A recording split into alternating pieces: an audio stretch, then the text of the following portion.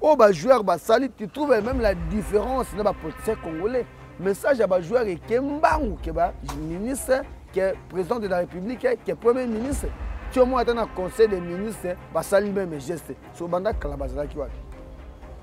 biso tozolela me bino ntango gouvernement boye esusu bolela sona na kokotela kongo ozomona cetadi bravo na leopard yango mwa ata na retour ya leopard ezomekitokende koyamba bango na miniti oyo eponi couleur te mbeli simba mbeli nkombo simba nkombo mpo moto amoto ayebi puissance eloko asimbi mpo na lokumu ya mboka c'est ça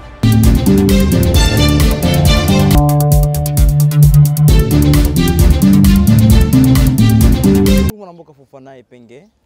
bonjour ndeko na ngai merci beaucoup mwana mboka fofana epenge toyei koyamba yo en pleine journée na kati ya engumba kinshasa tobeta masuku kotala politiko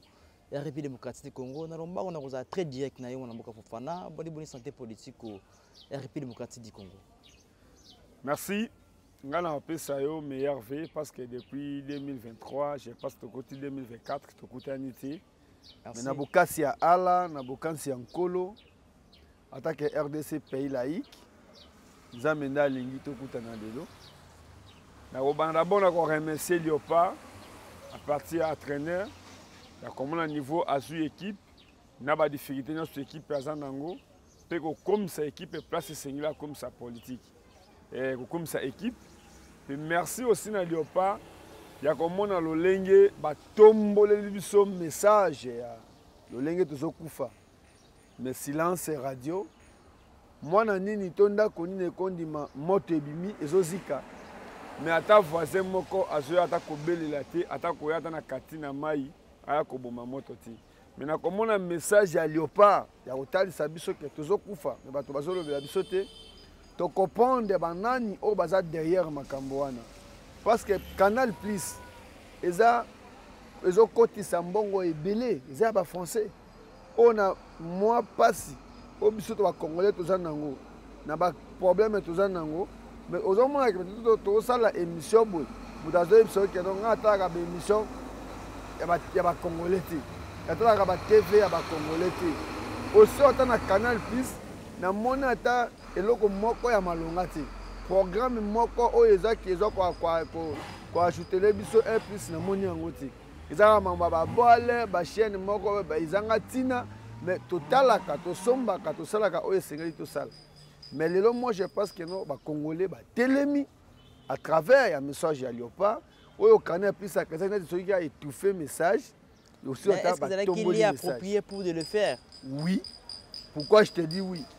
na minute oyo congolais na congolais esengeli affaire kopase message ezala mwana sirage ezala jardinier na département nyonso oyo ozaleli tu mérite faire quelque chose napesi yo exemple ya ferre egola ferre aza musicien mais soki otali nzembo ya ferre wana oyo ayemba na kiko sene oza oblige ya koyoka yango meme na francophonie il a profité ya bonne occasion ntango amoni arrivé ya bapaya ebele y compris bachaîne internationale ebele ntango bazwi ferre comme musicien ayemba na stade ayemba nzembo wana bato babetela yango maboko surtout bakeleke kome ba alpha eh, konde basalif keita alpha blondi batombola bareveya bato na travers bachasson soki tala ata nzembo oyo mwana mboki eliezer atya na masolo eh, tokomi wapi sure diable parlake eza nzembo oyo musicien ayemba mais aloba baréalité ya mboka nda ye akopozela yango nzembo comme aujourd'hui moi suis journaliste je suis quelqu'un oyo nalobelaka mboka na ngai neti ya mito atake citoyen congolais nazolobela mboka na ngai mais na minute oyo moto okoya musicien ferre gola azo prépare arena na ye adidance wana tu trouve que non na minute oyo ngai nakolobela baoyo ya ngai oyo alingi mboka asoutenir ferre comme vedette na biso comme star na biso azo prépare concert parce que na concert wana bakotia drapeau ya ferre te eza lokumu ya congo mais ferre comme artiste congolais tu vois akotelemisa drapeaucndenge mpe fali atelisaki drapeau na oui oui na vivo oui oui oui oui awa eza deux poids deux mesure te hmm. ferre aza musicien congolais fali pupa aza musicien congolais na ba bilembo nyonso na ba place tout batelemaka bapestaka mpo na congo c'est-à-dire ntango bapresentaka bango on parle toujours de république démocratique du congo c'est ça oyo bajoueur basali tu trouve même la différence na bapoliticien congolais message ya bajoueur eke mbangu ke baministre ke président de la république ke premier ministre ti omoi ata na conseil des ministres basali meme geste so banda kala bazalaki wapi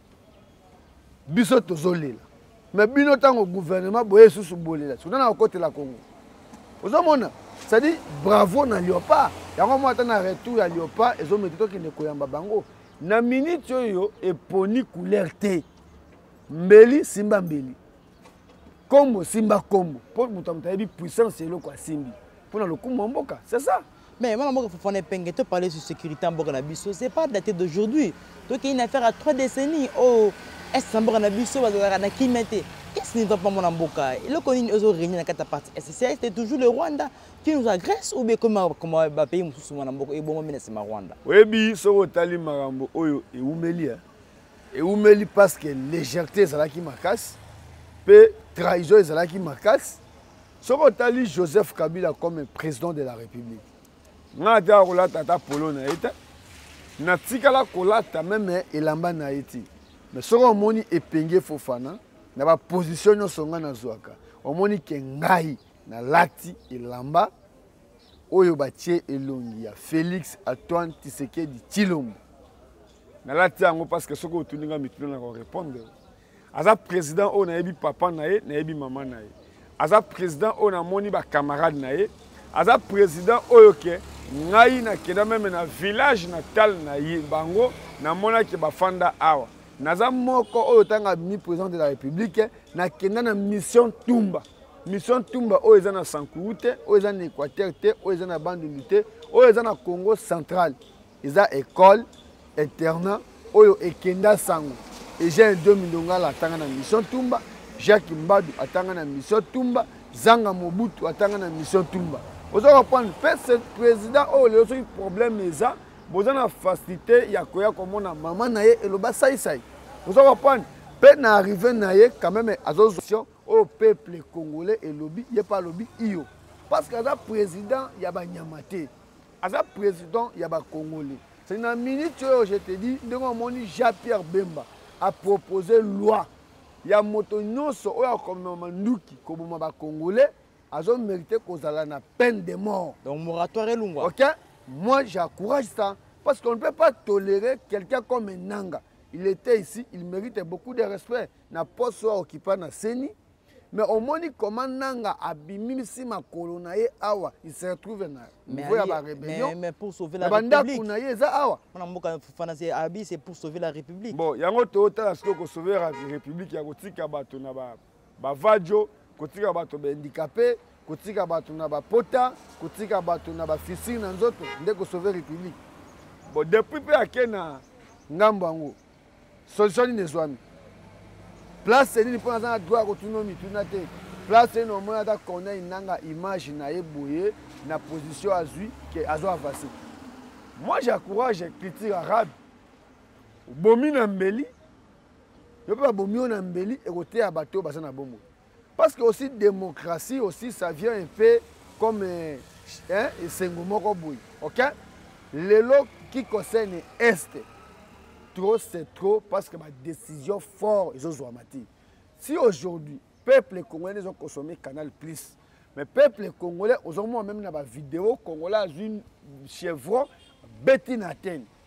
soki otali congolais azozanga eloko ya kolia mais soki ata ndenge mbula ebeti boye singa wana ya canal plus ezwi mwa problème mpo agent ya canal plus asimba yango il faut futa 15 dollar il faut futa 20 dollar mais bacongolais bango moko batelemi babi baboyi canal plus sisako toosengana mwana mboka Patrick Muya ya porte parole ya gouvernement asala communication na Kiko Sen Canal Plus. Mais Canal Plus ba congolais ba boyi yango. Ezalaki juste kaka comme quoi que maman ya ki simple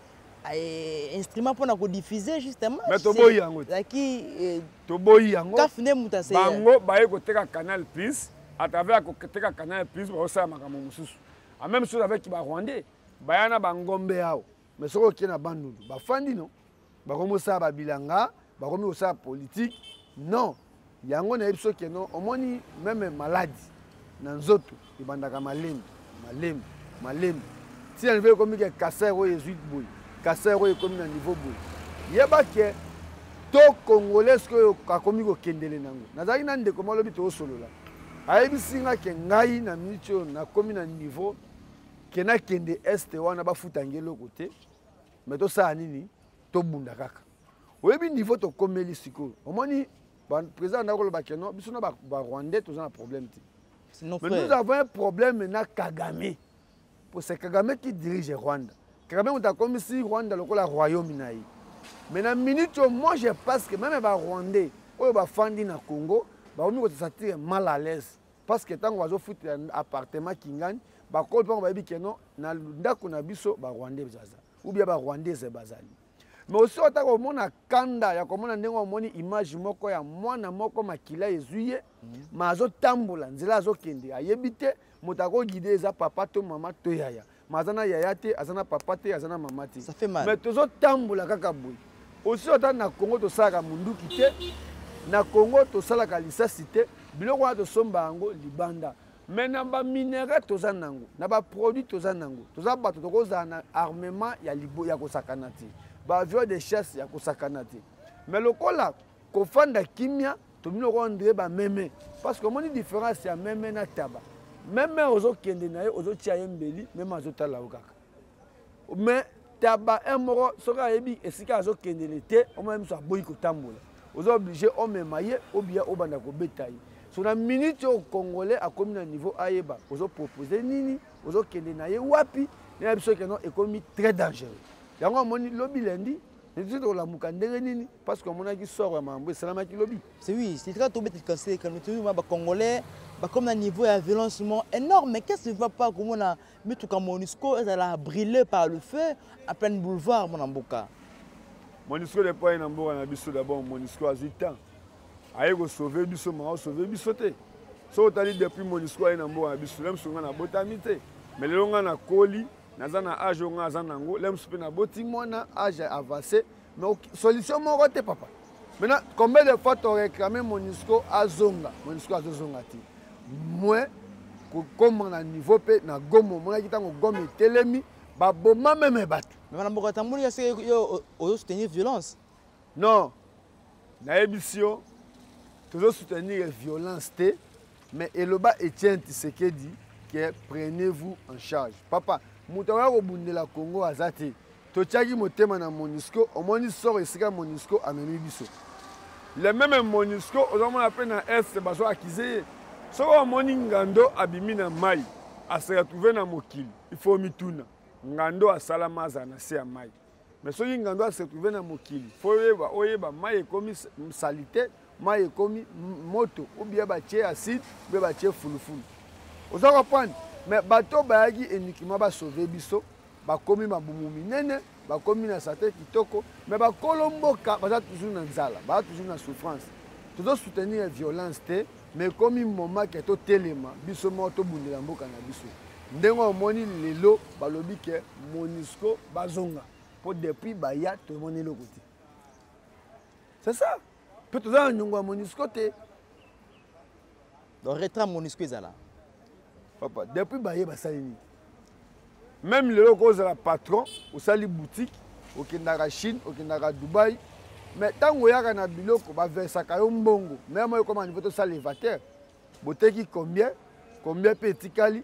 nde omoni peuple congolais aotuna meme président de la république 5 cas oyo osalaki ozwaki liboso ezalaki keno okosilisa insécurité tolekisi yango kaka na kokunda na kotraite osila ota ozoyoka na eseke tozwi kichanga o oh, tozwi ochuru il faut orendre compte ke toza na bahandikape ebele parce que bamasasi wana ezosila na banzoto ya bato ba bombe wana ezo sila na ba makolo ya bato est ce toza mpe na ba hôpital ya malonga ya ko traiter bato bazozoka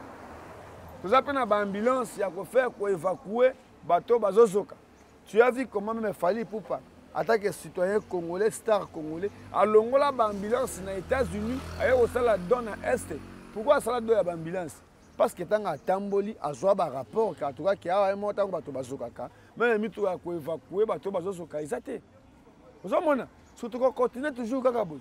kaka na kolela non moi je me rappelle que ye moment ya kozwa décision ndenge omoni na babokina faso ndenge omoni na bacôte d'ivoire donc omoni na ba nani soki otali jeune oyo oyo asalaki succès na, na russie babengaki soki ibrahim soki nani mm, eh? mais oui.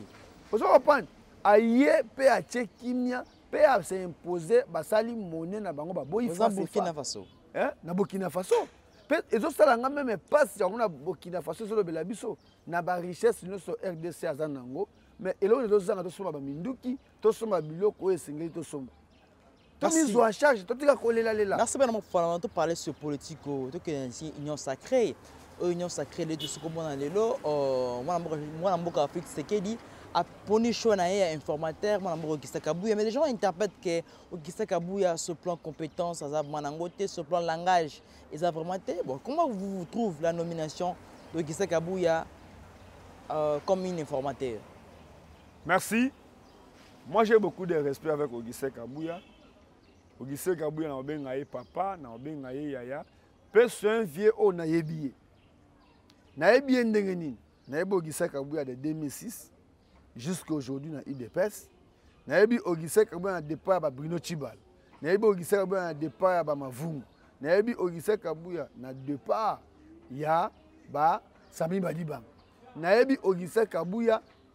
ntango kondo etienne tsekedi akufi ogisa kabuya atika na génération na biso ogisa kabuya lelo azomerite eloko wana parce que moto oyo aponi ye nde ye moto asignaka mpo na baministre mpo na baconseiller mpo na badg pourquoi je dis ça ntango président félix alobi ke directeur ya cabinet na ye ya mandat passé mwana mboka vital kamere na nyonso oyo bato baloba président félix ayoka bato te atika toujours vital kamere directeur ya cabinet wana ezalaki malamu tokei na 100 jours nakei nati na sankuru balaki bato bakotonga bahopitaux bakotonga banzela mais on arrive pendant 5 ans tu trouves sankuru lomami équateur grabanundu zero vital kamere abimi na prison ase retrouve nini ministre ya économie no regarde économie ya rdc économie ya bacongolais eza na bacondition nini eza toujours na maboko ya bapaya si tu passe même na niveau ya triomphale mpo ngabi na ngambo wana oyo batekaka bamba mituka oyoki oyo baolinga batonga soki supermarché est ce que c'est normal kotonga supermarché place wana mais wapi ministre ya économie regarde comment les congolais souffrent lelo na politike ya lelo na baparti politike ya lelo ozomona kaka baparti politike secrétaire général ya parti eyebani te bayebaka role ya parti politike to monene ya parti politike to poids après élection tu as vu na bamakambo nyonso idps azwi toke élection augustin kabuya abimisi combien de députés nationaux comme provincial augustin kabuya abimisi combien de communaux parce que première élection ya bacommunaux yango esalami nde place esengeli korespecte augustin kabuya me ngai nazoyebisa bato bazokritike augustin kabuya bazoreve parce que moto oyo anome ye nde aza na qualité d'abord ya kodésigne ye j'ai dit ceci président de la république a nommé augustin kabuya te mais a désigné ye comme mutu oyo ya kobimisela biso koakete kocontrôle mpe komemela ye rapport toyeba majorité eza ngambo nini Union sacrée ozoyebisa ngai. Nous avons plus de 3000 partis na kati Union sacrée. Nous avons plus de 1500 partis na kati Union sacrée. Nous avons plus de 4000 na kati Union sacrée. Mais est-ce que oyebi combien de secrétaires généraux bazo représenter ba partis na kati Union sacrée? Nous avons des partis oyebi na des partis à AFDC. Oyebi secrétaire général nango te? mpe siège ya union sacré eza place nini tolobaki totala tokomona siège ya union sacré ntango bazokende na campagne charte ya union sacré ezalaki nini moto nyonso aporte la république na campagne omonaki comment bato ya union sacré ndenge bawanganaki président de la république na bacampagne bakela babilongi na bango y compris baprésident ya baprésidium mais augustin kabuya baaligna ba ye comme numéro 1 ya espace grand kasai omonaki meme campagne na ye na mwamba asala yango na badifficulté azalaki na président partout lolenge osi batiaki ba, ba, ba, ba, mwana mboka eliezer coordonnateur ya campagne ya mokonzi ya mboka na lukunga mpe eliezer tambwe moto ayei kolase campagne na belgique na france bomonaki bavoi président azwi na belgique na france nde place bayebaka poids to monene ya motu akwa tolobaka ebele ebele me tozopeze te lelo augustin kabuya ayebi baaventurier nyonso lelo baosala politike quelqu'un oyo aza bapesi ye responsabilité olie atravaille il préfère kozwa mbongo ya mboka kebala nanu mwasi à travers ya mbongo ya mboka nde moto azosomba mituka à travers ya mbongo ya mboka nde moto azosalisa mituka nde baprocès tona yango na congo moi je préfère que non totala nu augustin kabuya aza président de la république te aza premier ministre te mais le mal est que ntango bakokomprendre ke union sacrée eza coque vide nde nalobaka keno eza escroquerie politique ya monene na kati ya union sacrée parce que parmi baresponsable ya union sacrée baza sérieux te c'est vrai mokonzi ya mboka ake indépendant mpo na kopesa bango poids ndenge abimi président de la république akoyeba na gauche na ye apesa nani na droite na ye apesa nani Mais tala makambo oyo eleki. Balongwe na kati union sacrée basali ba plateforme na bango mpo ndenge ba désigner informateur babanda koya ke non moi j'ai 50 députés moi j'ai 1000 députés le contraire badepute wana baza ya union sacrée parce que vision ya union sacrée eza mokonzi ya mboka no jusque là aexplike biso te eza kona eti moto abimi na le peuple d'abord soki otuni ye est ce que oyi koexplike biso projet ya le peuple d'abord eza nini mais mokolo union sacré eza président de la république mais ngai to yo tokoya koakapare ndenge nini mais bazwi kaka augustin kabuya batye ye comme informateur bato bazobela pulupulu pour quelle raison soki olingi oyeba ke banzinzi baza awa tya kisi ubia tumba zamba okomona nyoka abimi akimi okomona keloko boye ebimi ekimi mokonzi ya mboka tour oyo alobaki akocorrige baerreur passé c'est ça namoni d'abord kozwa augustin kabuya kote azalelaki kotia ye place wana okomprendre na niveau ya batia asile na fleuve mbisi na mbisi akomi koluka esika ya kokimela mpo ayebike miso ekokufa merci beaucoup mwana mboka fofana tokomi kokende na suka masolo na biso mwana mboka topale sur euh, gestion ya ville de kinshasa mwana mboka oyo ezopesa bayi mboka mpasi tozoyeba te eza likambo nini mwana mboka administration ya ville de kinshasa ezokomama ndenge nini mwana mboka oyo oh, parton na yango ezali na kati ya asimbi makambo mosusu kotala mpe ministère intérieur mpo ezo mpe etye mpe yikiki na kati ya ville de kinshasa qu'est ce qui ne va pas mwana mboka na ville de kinshasa oyo oh, ngai nakoloba na oke eh? moto akobongisa mboko eza yo ezanga tozwi bato bayebi français toyebi bato imagine toi ka bazosomba baconscience ya bato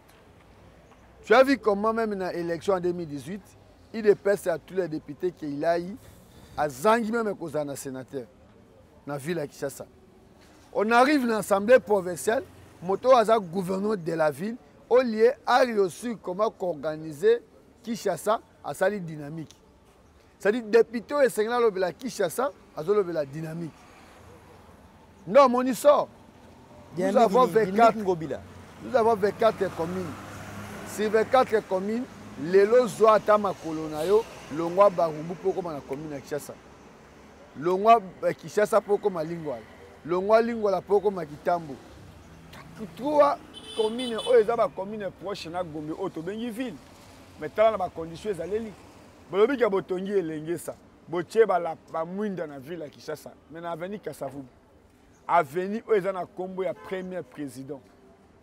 ya rdc jardin botiroir ya kinshasa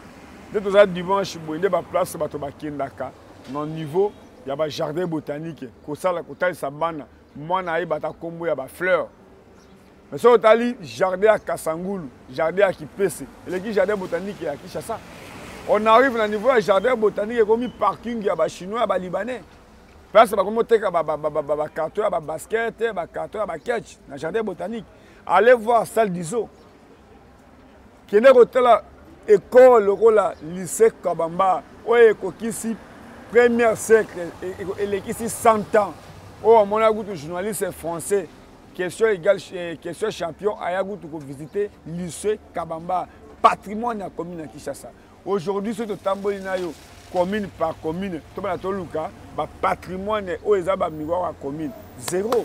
mais eza mosala oyo ya gouverneur akoki kosala mais pour te dire que non mangi eza te eza problème ya volonté jekoko mulumba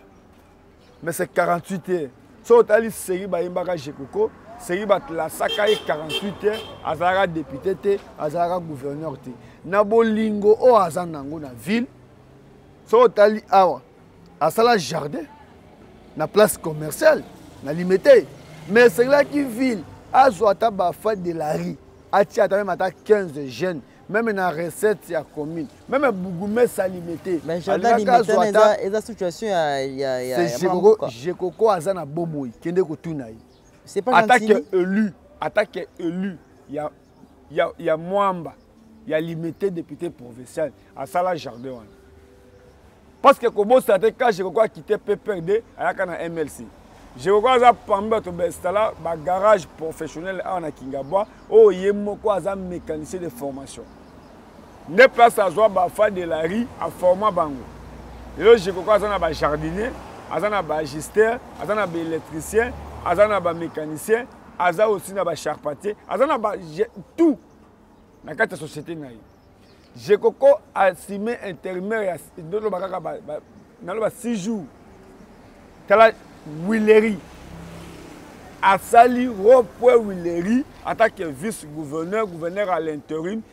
na moyen na ye mpe atalisi bino oyo oh, lelo esengeli igf sikoyo eya eakiete mese jekoko mulumba adepasse combien mpo ville ezongisela ye parce que mosala oyo azosala esengeli ville nde esala nini esala mosala wana mais jekoko azosala yango gratuit lelo alongwe wana aye na ropo egambela groupe kambele esali cinquantaine d'année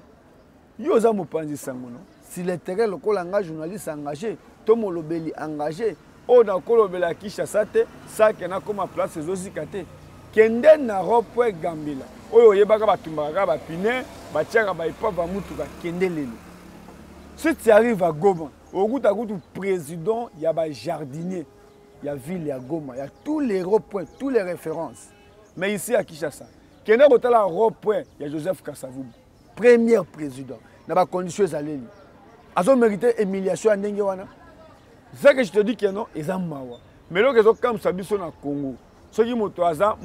molobeli ya gouverneur azosomba bamapango azosomba bamituka me meme bacommune oyo ezorepresente ville ya kinshasa kende kaka na commune moko moko moko kotaka na batoilette soki oke na commune ya kinshasa eloko ya liboso pipito kilala asala eza kobongisa wese soki oye kotuna olela ebembe na commune bakosenga yo mbongo osala mariage na commune bakosenga yo mbongo kende bata na commune ya limete awa okende kotuna mariage eza combien mais eloko ya liboso test ya liboso kotaka na meme na bureau ya bougumese est ce que ezo mérite na bacondition ezaleli mais kende soki kotala résidence ya bougumese place alalaka to place afutelaka tala lelo d'abord gestion gestion ya ville ya kinshasa bandako papa na biso andré kimbuta atongaka na wanga ta wana oyo eza babiro ya ville otali na bacondition eza ezozanga meme ata bacouleur mais kende kotala barésidence ya baministre provincial ya ville ya kinshasa batieka moto ministre tala motuka azowoule bana na ye na poto ye moko bamama badouble mama bazovivre koleka commune koleka ville koleka biro ya leta so toloba toloba te jekoko mulumba asala démonstration je me rappelle na 2011 apesaka kaka kutu ndeko basile mais pourquoi vous parlez pas de ngobila non moi je parle de jekoko parce que jekoko aza na bavaleur jekoko akabola bagroupe industriel awa na baeglise catholique na limete na commune ya limete jekoka kabola bagroupe si je me trompe mpo nabosani nde date jekoka kabolela bapasteur nyonso ya baeglise de reveil ya minene na mwamba awa na commune ya limete bakabolela yango bamituka wana azalaki depute azalaki gouverneur te kana ndenge nzambe apambola ye mais si lelo arrive ke jekoka asali jardin ndenge tozamona wileri ekomi place bato mokanga bafoto mpo na kosala me bakiti oyo jekoko asali wana eza kaka bajeune congolais baza me balicencie te mais jekoko azwi kaka bango apesi bango mayele eza na kati na ye so bato ya bolie koencourage bango esengeli kodecourage ye kolobaka jekoko ayibi mai ntango apesaka ndeko bazile grand cheroki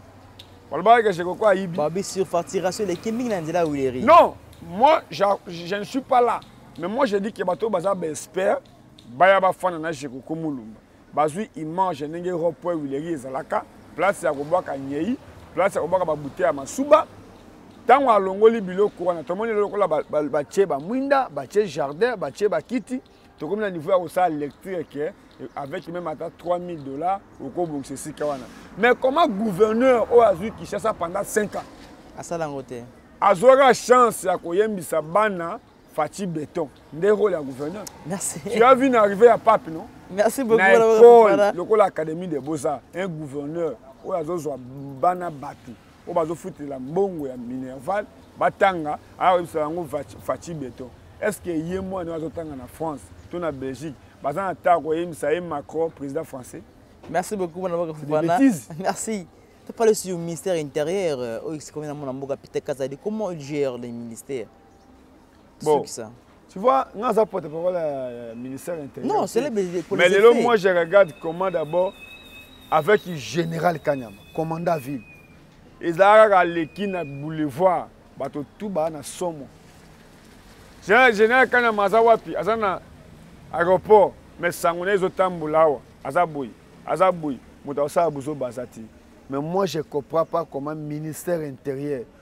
oyo eza represente mpo na kotia poids na congo mobimba mais tala modèle meme ata na bamatch ya léopard awa je te cite comme yolo comme kapela comme bumbu ye des endroits obimi moya ozonga eza te ye okenda te na bakiseso moto asombi ventilateur moya azonga osombi ventilateur mpo na molunge ozoya na yango okotisa yango na ndako mais eza na bajeune moko baza na ba 13 ans 14 ans bazobotola yo télévision na yo ok c'est-à-dire ministère ya intérieur baéchouwe na, na mosala na bango parce que on ne peut pas toakourajaka le mal te peter kazadi aza mwana ya etienne tisekedi oyo esengeli asala fierité ya etienne tisekedi oyo meme na bamarche na bamela bagaz mais on se retrouve aujourd'hui peter kazadi ministre intérieur mpe moto oyo ayebi droit ozomona ke mama moko boye azolela ke afandaka na makala me moya azonga na ndako eza te soki oke na, na bumbu yo oza na, na retard ya makambo ebele na bumbu awa na makala eza na bato basundoli bamapango après oza fier oyebisa nga ke non avec le temps passé tobanda omonaka bato tele oyo aza ministre intérieur moi je m'appelle ata na baserie ya ba adolphe lumanu ministre te blague ezalaki te evariste boshaba oyo ministre te blague ezalaki te on prend même mova ici ok ministre intérieur même avec jeunesse kaka ya pprda bazo paralyse ville mais on arrive aujourd'hui yo mpenza ministre intérieur na parti ya masse lokola idps hein? il y a aussi des jeunes volontaires mais na bapays nyonso batravaillement ata basportif volontaire ministère intérieur nde arecritaka bajeune wana je vis avec général elvis na tiango comment on peut maîtriser tiango mais ministère intérieur nde akozwa sikoyo document alobi ke à partir d'aujourd'hui je vois bajeune leader comme sénateur odia peut maîtriser kingabwa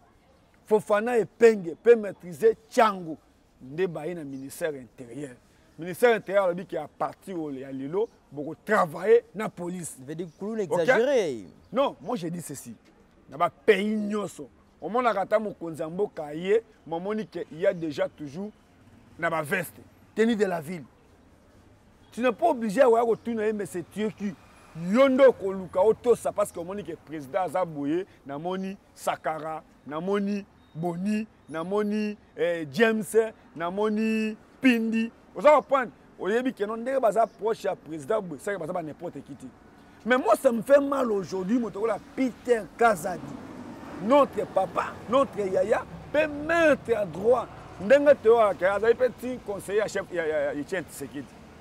ti ai l'occasion ya kozala conseiller to kozala proche ya moto okola premier docteur en droit premier opposant à l'époque des aïr moto oyo abangisa république amemaka na stylo ya pamba oyebaka histoire ya tsekedi te yo oza mwana oyo oakompagne idps na makambo ebele babi tsekedi na marche mais tsekedi abimisaka stylo ya pamba basoda ya mobutu babanga mais ba, yo lelo okomi ministre intérieur lelo soki balongoli peter kazaki na ministère intérieur eloko nini atiki comme appointe to ya kuluna eleve d'abord aza élu ya mwamba tuna bana kiseso baza na bacondition nini bazovivre kiseso tu arrive au matete baveni mboloko wana okokota wapi otiaotango kaka ekomi makambo ya malonga okati parce que c'était pas des choses vraies tokopesa mwana mboka pete kazala de confiance na deuxième mandat na poste na ye ah Bon, ngai na pona ba ministre. Trop disait maintenant déjà na ngai na pona ka ba ministre. Là il faut que ne retourne chargé à communication à ministère intérieur a expliquer ba congolais ya malonga oyo titulaire na ya sali oyo ba ko retenir comme ministre. Merci beaucoup na bon parce que la fin mais. Yo c'est une sécurité d'abord Kinshasa. insecurité eza ya kosakana te totalaka kaka kaka goma kaka te ocomprendre mais esengeli moto lokola peter kazadi azwa bato lokola babiso toyebi mpo nous nous sommes proche na population ntango ozwa baflateur bakoboma yo bakoede yo avance te merci beaucoup mwana moka fana presque la fin message suka ezali nini oyo bato partout na monde entier dans une minute merci ngai na oremercie oyo ya koluka ngai mpe yo moko comprendre ke awa nasalaka bokeseni ya tokomi wapi mpe na analyse atake epenge fofana moto afandi na kinshasa ebeba kokamwa na lati lombo parce que to accompagne ye na combat mpe victoire oyo ye aza nango eza parmi biso mpe tomemi brike yango nde ndako etengami yango ndako mpe etelemi oyo nyonso akolinga akourage nga